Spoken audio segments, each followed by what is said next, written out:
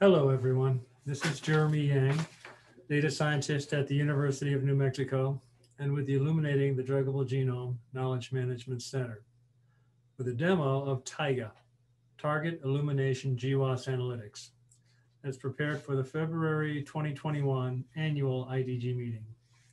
See also the accompanying poster and video poster presentation. TIGA is an approach, a workflow, and a web application for processing and presenting the evidence from genome-wide association studies, GWAS, as compiled by the GWAS catalog to assess confidence for gene trait associations for the use case of discovering, illuminating, and prioritizing novel gene targets. The TIGA web app supports trait queries, gene queries, and gene trait association details and provenance. Full dataset download is also available. The web app URL is as shown, which is unmtid-shinyapps.net slash shiny slash tiga. Here we see the landing page, which displays the full list of traits for which there are TIGA gene trait associations. The list can be browsed and searched. Selecting the EFO ID link loads and launches the corresponding trait query. EFO is the experimental factor ontology. Similarly, the Genes tab contains a full list of genes for which there are TIGA gene trait associations from which a gene query can be launched. The Studies tab is a full list of studies for reference. The Download tab provides full dataset download, and there's an online help tab. Going back to the traits list, let's search for cancer.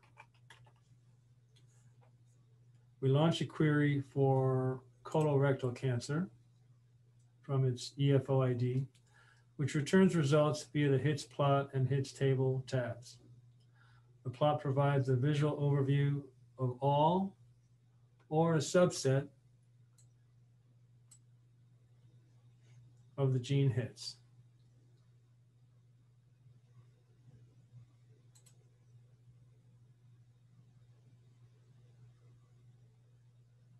With mean rank score as the x-axis and a choice of y-axis, odds ratio or beta count, which by default is automatically chosen.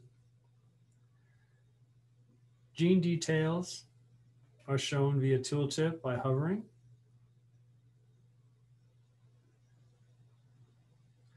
And the Plotly widget supports zooming by mouse selection.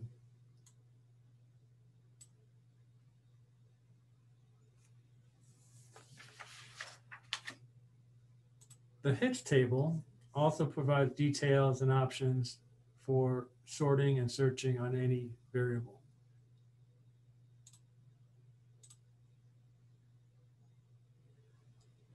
The link out icons go to Pharos, gene pages, and the magnifying glass icons launch the corresponding TIGA gene trait query with the provenance tab to provide details of a specific gene trait association and a list of supporting studies and their corresponding publications, themselves with link outs to the GWAS catalog and PubMed, respectively.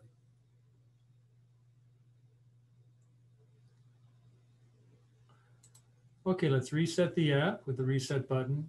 We can also query for traits with the trait query input with auto suggest.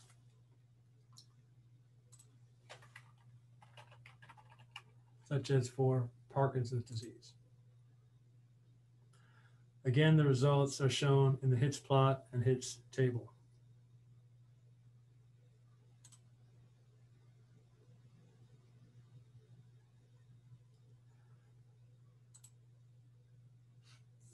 The gene query function is conceptually symmetric in TIGA. Results are shown as hits which are traits instead of genes. For example, we can use autosuggest to query for LRRK2.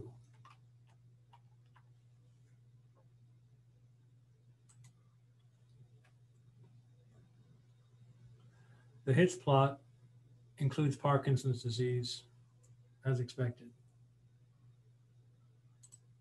The hits table lets us drill down to the provenance.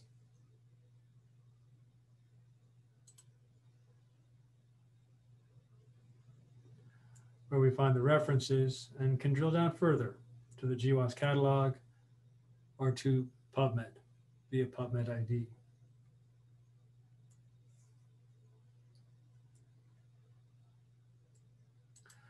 To learn more, see the online help via the help tab, or you can read our manuscript in review and revision at bioRxiv, uh, or see our, bio, uh, our GitHub repository.